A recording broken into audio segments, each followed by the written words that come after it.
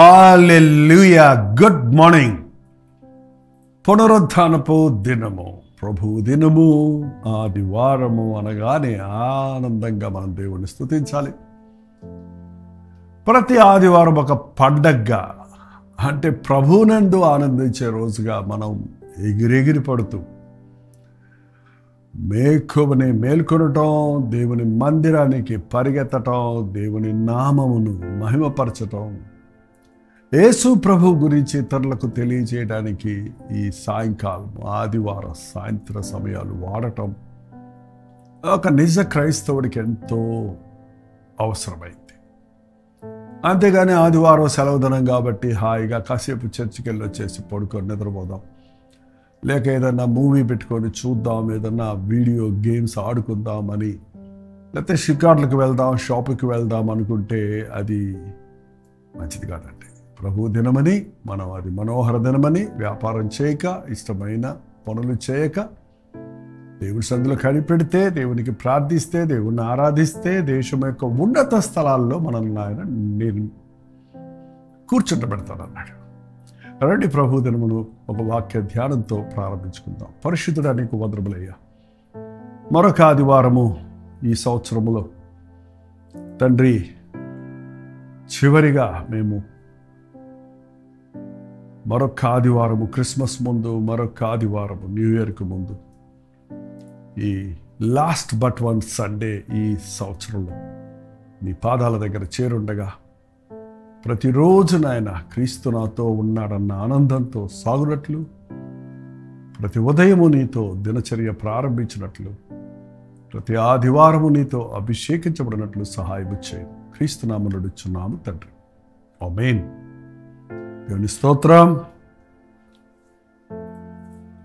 వచ్చిన వాక్యం నూట ఎనిమిదో కీర్తన. కీర్తన నూట ఎనిమిది పన్నెండవ వచనం. మనుష్యుల సహాయము వ్యర్థము. శత్రువులను జయించుటకు నీవు మాకు సహాయము దయచేయుమో. మనుష్యుల సహాయము వ్యర్థమో. మనుషులను నమ్ముకునుడి కంటే యహోవాను ఆశ్రయించుట మేలు. రాజులను నమ్ముకునుడి కంటే ప్రభువు నందు విశ్వాసం ఉంచటం మేలు. తనను తాను నమ్ముకునేవాడు అరుహ వృక్షం వలె అయిపోతాడు.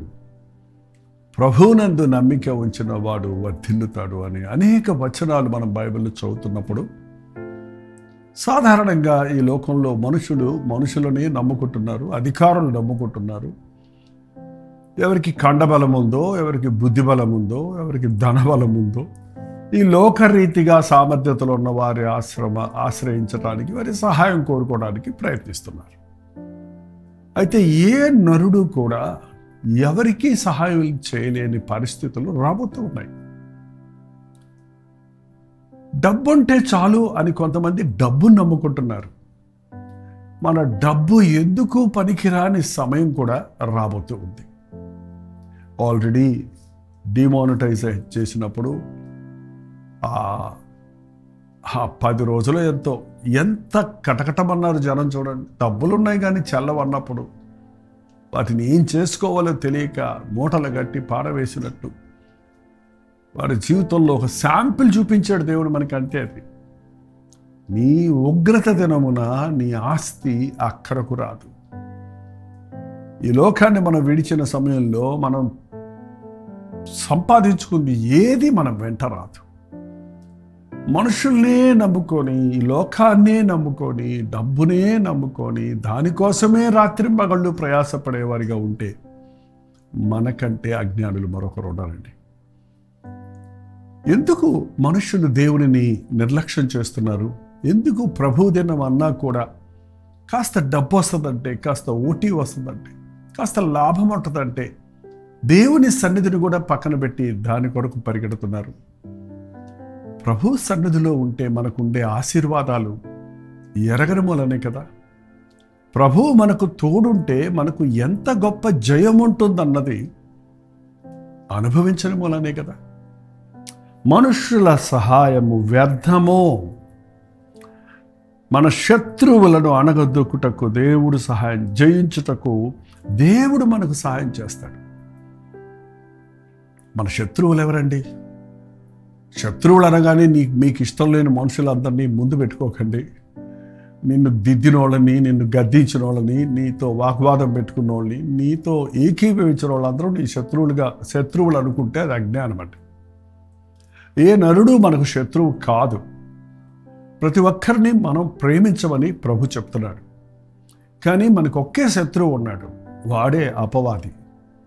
ఆ అపవాది ప్రేరేపించబడిన వ్యక్తుల ద్వారా మనల్ని సాతాను శోధిస్తుంటాడు. కాబట్టి ఎవరి ద్వారా మనకు శోధన వస్తుందో ఆ వ్యక్తిని మనం ద్వేషించకూడదు కానీ ఆ విషయాన్ని మనం ద్వేషించాలి. లేక ఆ విషయాన్ని ఎదిరించాలి. అపవాది చాలాసార్లు మనుషుల ద్వారా మనల్ని తొందర చేస్తాడు. మనకు విరోధంగా ఉంటాడు. మనం కత్తులు కటారాలతోటో యుక్తులు కుయుక్తులతోటో శత్రువులను జయించే వారి వలె ఉండము గనుక మనం పోరాడున్నది మనుషులతో కాదు వాయుమండల అధిపతులతో పోరాడుతున్నామని గుర్తించినప్పుడు మనం ఆధ్యాత్మిక బలాన్ని కలిగిన వారిగా ఉండాలి. దేవుడిచ్చు సర్వాంగ కవచాన్ని ధరించుకోవాలని బైబిల్ చెప్తుంది. అందుకేనండి దేవుని వాక్యం చదివి పఠిస్తే ఏ పరిస్థితుల్లో ఎవరిని ఎలా ఎదుర్కోగలం జయించగలం ఏ ఉపద్రవాలను ఎలా తట్టుకోగలం ఏ పోరాటాల్లో ఎలా ప్రశాంతంగా ఉండగలం ఏ చిక్కుల్లో నుంచి మనం ఎలా బయటికి రాగలం అన్నది మనం గుర్తించగలుగుతాం. అందుకే ఆదివారం దేవుని మందిరాలకు వెళ్ళటం దేవుని బిడలతో కలిసి ప్రార్థించటం ఆరాధించటం ఆయనను స్తుతిస్తూ ఆయన వాక్యాన్ని మనం ధ్యానించటం మనకు ఆధ్యాత్మిక బలాన్ని అనుగ్రహిస్తుంది మన యొక్క అనుభవ జ్ఞానాన్ని పెంచుతుందండి. మీరు ఇంట్లోనే కూర్చొని మేమే బైబిల్ చదువుకుంటున్నామంటే అది ఒకవేళ జ్ఞానంగా మీకు అనేక విషయాలు తెలుసుకుంటారేమో కానీ అది అనుభవంగా మార్చుకోవాలంటే మనం దాన్ని వర్కౌట్ చేయాలి కదా. దాన్ని క్రియల్లో చూపించాలి కదా. క్రియలలో దానిని ఉపయోగించాలి కదా. కాబట్టి మనుషుల సహాయం వ్యర్థం. మనుషులు సహాయం చేశారో చేయలేదో దాని గురించి మనం పట్టించుకోవద్దు. నాకు మనుషులు ఉన్నారులే నాకు డబ్బు ఉందిలే నాకు అనేకులు నా పక్షంలో ఉన్నారులే అనుకొని నష్టపోవద్దండి.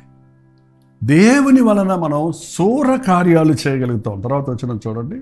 దేవుని వలన మేము సూర కార్యములు జరిగించడం దేవుని కలిగిన వారు సూర కార్యాలు చేస్తారు. నీచ కార్యాలు చేయరు. హీనమైన కార్యాలు చేయరు. చాలా మంది రోజున వారు జయిస్తున్నారు అంటే వారి జయాలు న్యాయపరంగా జయించిన జయం కాదు. చట్టబద్ధంగా సాధించిన జయం కాదు. వారు మోసాల ద్వారా యుక్తుల ద్వారా నీచమైన కార్యాలు చేయటం ద్వారా బ్లాక్మెయిల్ చేయటం ద్వారా భయపెట్టడం ద్వారా బెదిరించటం ద్వారా ఆశ పెట్టడం ద్వారా ఏదో సాధించామనుకుంటున్నారు కానీ అవి దేవుని దృష్టిలో నీచ కార్యాలుగా ఉన్నమాట. అవి హీనమైన కార్యాలుగా ఉన్నవి. అవి అపవిత్రమైన కార్యాలుగా ఉన్నాయి. నువ్వు ఎంత మందిని ఎన్ని విషయాల్లో జయించావన్న దానికంటే నీ హృదయాన్ని ఎంత నిర్మలంగా ఉంచుకున్నావు అన్నది చాలా ప్రాముఖ్యమైంది. నువ్వేదేదో సాధించాను అని నీవు అనుకోవటం కంటే నీవు సాధించినవి న్యాయబద్ధకమైనవా? దేవునికి అంగీకారమైనవా? అని పరిశీలించుకోవాల్సిన అవసరత ఎంతో ఉందండి. ఏదోలాగా మస్కా కొట్టి ఈ లోకంలో బతికిపోదామని మనుషులు అనుకుంటున్నారు కానీ అది కొంతకాలమే చెల్లుద్దండి. ఒక సమయంలో ఒకరిని మనం మోసగించవచ్చు కానీ అన్ని సమయాలలో అందరినీ మోసగించలేం కదా? అందును బట్టి మోసంతో అన్యాయంతో పొందుకున్న జయాలన్నీ అపజయాలుగానే నిరూపించబడతాయి. దేవుని అందు విశ్వాసం మనం ఉంచితే దేవుడు మనకు సూర కార్యాలను శూర కార్యాలంటే చాలా యునీక్ ఎవరూ చేయలేనంత అద్భుతమైన కార్యాలను దేవుడు మనకు మన ద్వారా జరిగిస్తాడండి. ఆ గొలియాతును చంపడానికి ఆ యొక్క సైనికులందరూ వేరే ఏంటేంటో పన్నాగాలు పన్నుతున్నారు. అందుకనే వాళ్ళు బయటికి రాకుండా వాడు అరుస్తూనే ఉంటే వాళ్ళకి ఏం అర్థం కాక ఎలా ఎలా ఎలా అనుకుంటున్న సమయంలో మోసపూరితమైనటువంటి ఉచ్చులు చేయటానికి ప్రయత్నించలేదు కానీ దావీదు నేరుగా ఎదుర్కొన్నాడు. ఎందుకంటే నువ్వు బళ్ళాన్ని డాలును నువ్వు నీవు నీ కండబలాన్ని నీ ఎత్తును నీ పొడుగును నీ నీ అనుభవాన్ని నువ్వు చూసుకుంటున్నావు కానీ నమ్ముకుంటున్నావు కానీ నేను నా దేవుని ఎందు విశ్వాసం ఇచ్చాను నువ్వు కత్తులు కటారాలు పట్టుకొని నా మీదకి వస్తున్నావు కానీ నీవు ద్వేషించిన దేవుని నామములో నేను నీ మీదకి వస్తున్నాను అన్నప్పుడు ఎంత సునాయాసనంగా ఆరు మూరల జానడు ఎత్తున్న గొల్యాతుని ఒకే ఒక్క దెబ్బతో కింద పడగొట్టాడన్నది మనం బైబిల్లో చూస్తున్నప్పుడు ఈ రోజున మనం గొల్యాతులు లాంటి సమస్యలు ఎదుర్కొంటున్నప్పుడు భయంకరంగా బెదిరింపులు అరుపులు కేకలు పెడుతున్నప్పుడు భయంకరమైన పరిస్థితుల్లో ఉంటున్నప్పుడు ఏ నరుడు మనకు సహాయకరంగా ఉండకుండా అందరూ గుడారాల్లోకి వెళ్ళిపోయారండి. దావీదు ఒక్కడే ముందుకొచ్చాడు. నేను ఒక్కడిని కాదు నాతో ప్రభు ఉన్నాడు అని విశ్వసించాడు. కాబట్టి మనం మనుషుల మీద ఆధారపడకుండా దేవుని మీద ఆధారపడితే ప్రభు మనతో ఉంటే కోటి ఏనుగుల బలం అంటారు చూడండి సాధారణంగా. అది కూడా చాలా తక్కువే. ప్రభువు మనకు తోడుంటే ఆయనే మన బలమైతే మనం శూర కార్యాలు చేయగలుగుతాం. ఈ ఉదయం ఒక్కసారి ఆలోచించేయండి మీ జీవితాల్లో ఏమైనా శూర కార్యాలు చేశారా? ప్రయోజనకరమైన కార్యాలు చేశారా? ప్రభునామంలో ప్రార్థన చేసి అద్భుతాలను జవాబులను పొందారా? మీ శత్రువులు యుక్తులు కుయుక్తులతో మిమ్మల్ని చుట్టుముట్టినప్పుడు మీరు ఏ ఆయుధము వాడక్కర్లేకుండా మోకాళ్ళ ప్రార్థన ద్వారా శత్రువులను అణగదొక్కగలిగారా? శత్రువులు మారి నీ దగ్గరకు వచ్చి సమాధాన పడేటట్టుగా చేయగలిగావా? అది ఆయన చేసే పనండి. దేవుని అందు విశ్వాసం ఉంచుదాం. దేవునికి అధికారం ఇద్దాం దేవుని వలన మేము సూర కార్యములు జరిగించడము మా శత్రువులను అనగదొక్కువాడు ఆయనే. మా శత్రువుల్ని మేము అనగదొక్కర్లేదు మేము పోరాడక్కర్లేదు. మేము వారి జోలికి వెళ్ళక్కర్లేదు మేము దోషులు అవ్వక్కర్లేదు యుద్ధం యహోవాదే. మీరు ఊరక నిలిచుండి చూడండి. మీరు జయాన్ని చూస్తారు మీరు చూడండి విశ్వాసంతో మౌనంతో అని ఆ రోజు ఇస్రాయిల్తో చెప్పినట్లుగా. ఇంకా ఎప్పుడు మీ జీవితంలో మీ శత్రువుల్ని చూడరు ఈ ఐగుప్తీయుల్లో చూడరు అని ప్రభు చెప్పినట్లుగా. ఇస్రాయేల్ని తరుముతూ తరుముతూ వచ్చినటువంటి ఆ యొక్క ఫరో సైన్యమంతా ఆ ఎర్ర సముద్రం మరలా మూసుకుపోయినప్పుడు అందులో మళ్ళీ కొట్టుకుపోయినట్టుగా మనం బైబిల్లో చూస్తున్నాం. నీతివంతుడు సింహం వలె ధైర్యంగా నిలబడగలుగుతాడు. పిరికివాడు దుష్టుడు తరమకుండానే పారిపోతాడండి. మీ హృదయం దేవుడితో సరిగా ఉంటే మీకు దేవుడితో సహవాసం ఉంటే ఈ లోకంలో మనకు వచ్చేటువంటి పోరాటాలు ఎదుర్పులు విరోధాలు వీటన్నిటినీ చక్కగా సమాధానంగా జయించగలుగుతాం. ఎన్ని నీచ కార్యాలు ఎంతమంది మన పట్ల తలపెట్టినా మనం దేవుని మేలైన కార్యాలతో ప్రేమపూరిత కార్యాలతో శూర కార్యాలతో వాటిని జయించగలుగుతాం. ఆధ్యాత్మిక జీవితంలో మీరు బలముగా ఉన్నప్పుడు విశ్వాస జీవితంలో మీరు స్థిరముగా ఉన్నప్పుడు దేవునితో సహవాసం కలిగి ఉన్నప్పుడు మనం ఏ మనుష్యుని దగ్గరికి పోవలసిన అవసరం లేదు. నరుల సహాయము వ్యర్థమో అనేది మనం గుర్తిస్తాం.